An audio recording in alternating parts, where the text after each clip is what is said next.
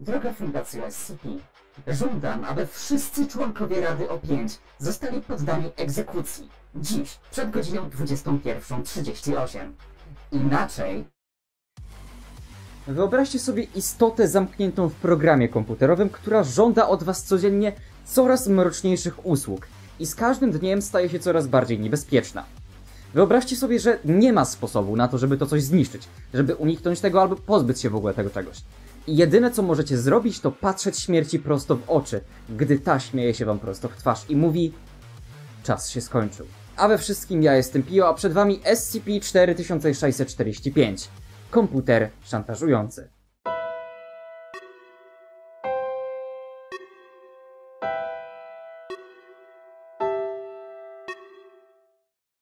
A, i zanim zaczniemy. Jest już wrzesień, więc stwierdziłem, że wezmę udział w wyzwaniu zaprezentowanym przez Ethris. Ethris? Ethris? Na Twitterze. Przy okazji zapraszam do zaobserwowania mnie na Twitterze, śmiało. Wyzwanie to nazywa się Skiptember i w skrócie oznacza czytanie codziennie innego raportu SCP przez cały wrzesień. Z jakimś tam konkretnym tagiem. Osobiście zamierzam się podjąć tego wyzwania i codziennie wrzucać na drugi kanał content o jakimś konkretnym obiekcie SCP. Więc zapraszam tam was serdecznie, no i zapraszam was samych, żebyście codziennie czytali jakiś nowy raport. Przy okazji, jeśli uda mi się zrozumieć jak się korzysta z TikToka, to na TikToku również będę wrzucał codziennie skróconą wersję SCP na dany dzień. Takie SCP w 10 sekund, powiedzmy. Zapraszam serdecznie do followowania i niech ktoś z was, błagam, na Discordzie napisze do mnie i nauczy mnie jak się korzysta z TikToka, bo jestem boomerem i nie umiem. Na kanale omawiałem już wiele anomalii ze strony pisarskiej SCP-Wiki, które są albo świadome, albo zamknięte w jakimś komputerze. Czy to antyczny komputer szachowy, księga Tamlina, czy ten dziwny kosmita, który utknął w Minecrafcie. Tak, było coś takiego, nie wiem czy pamiętacie, jeżeli nie to przejdźcie sobie ten film. Ale wydaje mi się, że nie omawialiśmy jeszcze takiego obiektu jak SCP-4645. Aktualnie obiekt ten jest standardowym terminalem komputerowym ośrodka 15. Wcześniej był MacBookiem R. No, ma, ma ciekawy gust, muszę przyznać. Komputer ten nie potrzebuje prądu, żeby działać, ale to nie jest jego główna anomalna cecha, którą posiada. Mianowicie SCP-4645 codziennie między godziną 7 a 12 wygeneruje SCP-46451, czyli plik tekstowy, który składa się z dwóch części: żądania i groźby. Formułka jest następująca. Do fundacji SCP. Żądam, żebyście coś tam, coś tam zrobili. Jeśli moje żądania nie zostaną spełnione, wtedy groźba. Miłego dnia. Bardzo kulturalny SCP, który wie czego chce i jest gotowy przedstawić to fundacji wprost. W końcu ktoś, kto nie ma problemów z komunikacją. Nie to co to, nie wiem, na przykład taki SCP-682. Z nim się człowiek nie dogada. W każdym razie lista żądań jest naprawdę przerażająca, a groźby, które komputer przedstawia fundacji są jeszcze straszniejsze. Dlatego jeśli dyrektor ośrodka zdecyduje, że groźba będzie wyjątkowo niebezpieczna dla fundacji, żądanie komputera zostanie przesłane bezpośrednio do Rady O5, żeby ci zadecydowali, czy powinni je spełnić, czy nie. Więc czego żąda nasz kochany komputerek? Zaraz do tego dojdziemy, bo dajcie mi sekundkę. Dzwoni do mnie, dzwoni do mnie doktor Pio. E, dawno go nie widzieliście, nie? Ja, ja też nie. Stęskniłem się trochę za nim. On tam był zajęty jakimiś dziwnymi rzeczami, eksperymentami. Może powie nam parę słów do kamery. Mhm. No, cześć. Co? Jak to uciekł?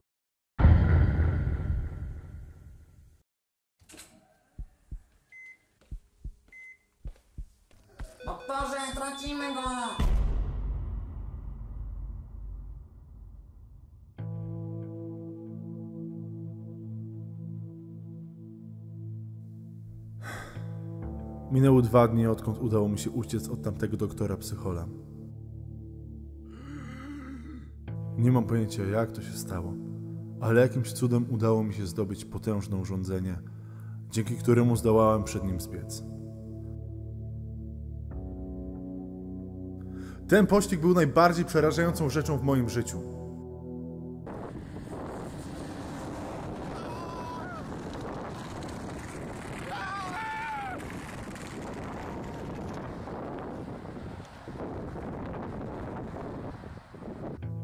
Mój pojazd nie był jednak tak dobry, jak sądziłem.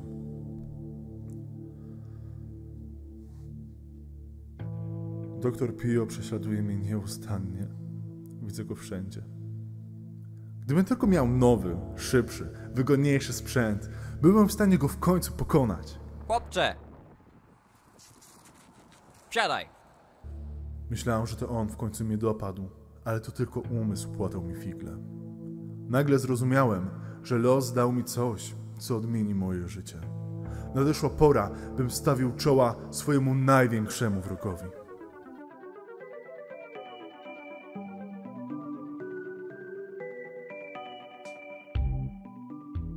Okej, a teraz tak serio. Chciałbym serdecznie podziękować sponsorowi dzisiejszego materiału, jakim jest Diablo Chairs.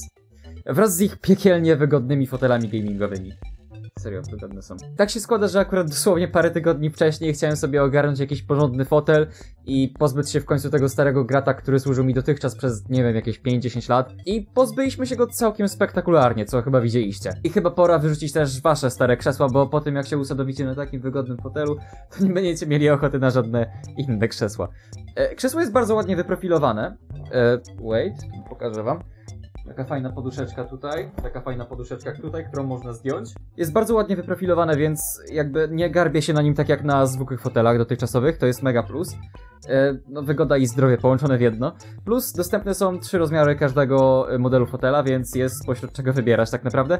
Tak więc kliknij w link w opisie, to jest, to jest tam na dole, żeby chwycić samemu własny model Diablo Chairs.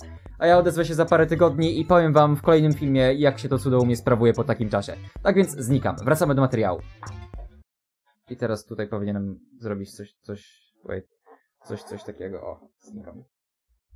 I, od, i, i teraz odjeżdżam. Papa, nie mam. Okej, tak więc czego żąda od Fundacji SCP-4645? Zwykle są to żądania mocno szkodzące całej organizacji. Ich spełnienie skutkowałoby ekstremalnymi stratami w personelu albo zmianami na skalę globalną, między innymi egzekucja wszystkich członków Rady O5, wypuszczenie wielu obiektów SCP, oddanie Fundacji SCP pod władzę innych organizacji, obalenie przeróżnych rządów na świecie. Każdemu żądaniu towarzyszy deadline, który fundacja musi spełnić, zazwyczaj między godzinami 17 a 22. To teraz chcielibyście pewnie usłyszeć, jakie groźby szykuje nam komputer, jeśli fundacja nie wypełni jego żądań. Uwaga, uwaga, skupcie się uważnie, bo to nie są groźby dla osób, które mają słabe nerwy. E, Więc jeżeli macie jakieś problemy z sercem albo bardzo szybko, bardzo łatwo jest was przestraszyć, no to radzę wyłączyć ten film, ok? Bo do gruźby SCP-4645 zaliczamy, uwaga, zamknięcie na cały dzień baru sałatkowego w ośrodku 15. Cały personel ośrodka przynajmniej raz w trakcie dnia uderzy się w mały palec od stopy. To jest, to jest, to jest straszne. Przerażająco słabe połączenie internetowe. To jest to, co ostatnio mi się dzieje i dlaczego nie ma streamów. Ja wiem, ja wiem, że większość z was teraz omdlała z przerażenia, ale z takimi groźbami muszą się mierzyć pracownicy ośrodka 15 na co dzień. Jeden like równa się jeden uratowany pracownik ośrodka 15. Jeśli nie dasz lajka, co z ciebie za monstrum? Oczywiście, jeśli żądania SCP-4645 nie zostaną spełnione, tekst wiadomości zmieni się na czas minął, a następnego dnia groźby zostaną spełnione. No i jak widzicie, nie są to zbyt poważne groźby, ale to i tak zdążyło wkurzyć paru pracowników. Po jednym wydarzeniu, które sprawiło, że wszystkie komputery w całym ośrodku się zresetowały, badacz Ferris Jager, Jager? Jagger? Tak się wkurzył, że wszedł do celi przechowawczej SCP-4645 i zmiażdżył go młotem dwuręcznym.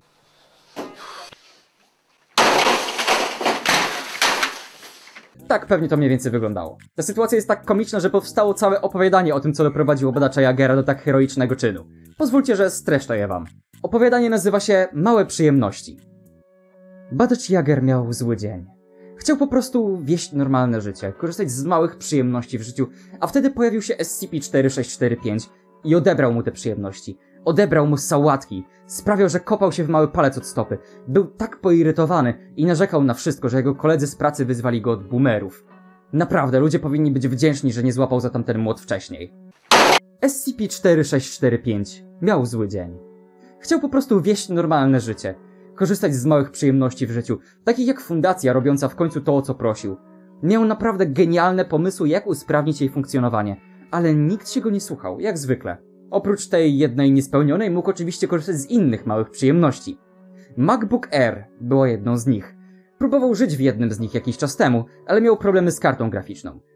E, nie żeby potrzebował karty graficznej do funkcjonowania, ale podpisał umowę z Nvidią parę lat temu jako skomplikowany spisek przeciwko Komitetowi do Spraw Etyki, więc póki co musiał trzymać się Windowsa, żeby nie oberwał pozwem. Pradawne zło takie jak on potrzebowało dobrego hosta, dobrego miejsca do odpoczynku.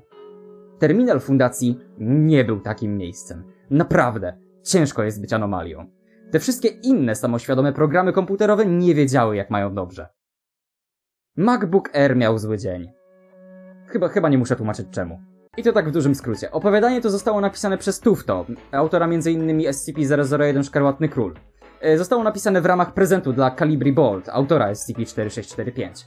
Tak więc, wracając do naszego oryginalnego raportu. SCP-4645 trochę się wkurzył za zniszczenie go przez badacza Jagera. Oczywiście nic mu to nie zrobiło i przeniósł się do innego terminala, ale ewidentnie był poirytowany, bo teraz jego żądaniami była egzekucja badacza Jagera albo jego rodziny, albo wypuszczenie go do jakiegoś SCP klasy Keter.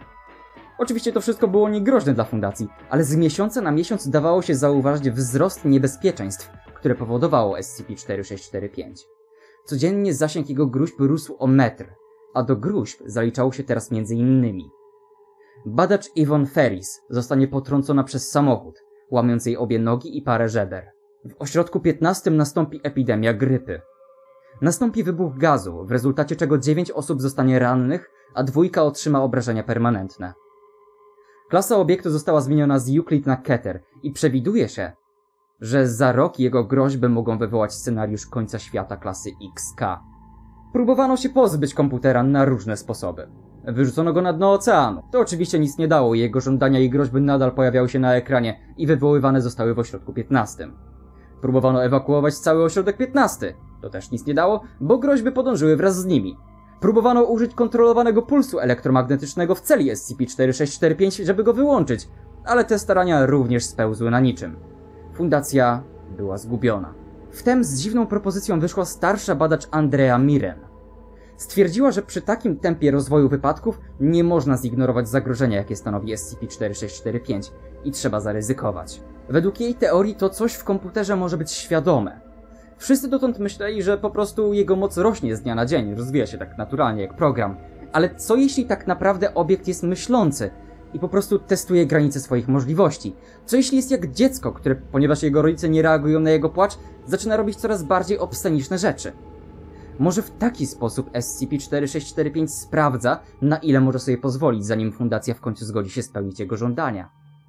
Jeśli rzeczywiście jest świadomy, badacz Miren podjęła ryzyko i stworzyła cyfrowe zagrożenie mnemoniczne, które po wgraniu do SCP-4645 powinno mu wyczyścić pamięć i cofnąć jego mordercze zapędy. Po prostu stworzyła środek amnezyjny, ale dla potworów w komputerach. I jeśli ten plik będzie instalowany na komputerze co jakiś czas, obiekt przestanie być jakimkolwiek zagrożeniem. Jej propozycja została zaakceptowana i dnia 29 listopada 2018 roku cyfrowe mnemozagrożenie Miren zostało utworzone i zainstalowane na SCP-4645. Następnego dnia obiekt utworzył następującą wiadomość. Do Fundacji SCP.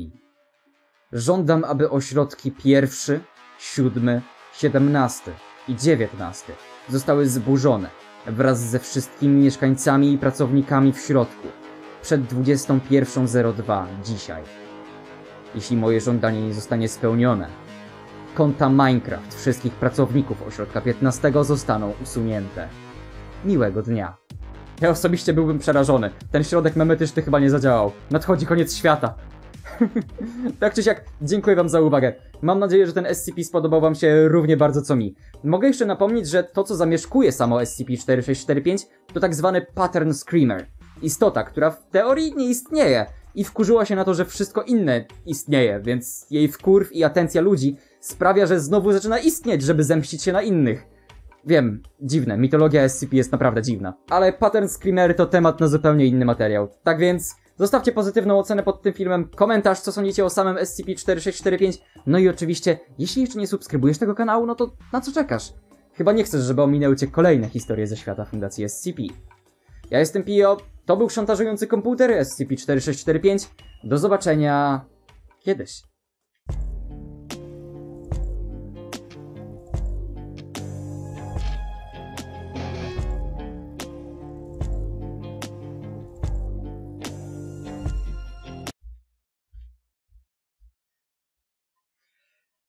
Dubstep jest nieśmiertelny.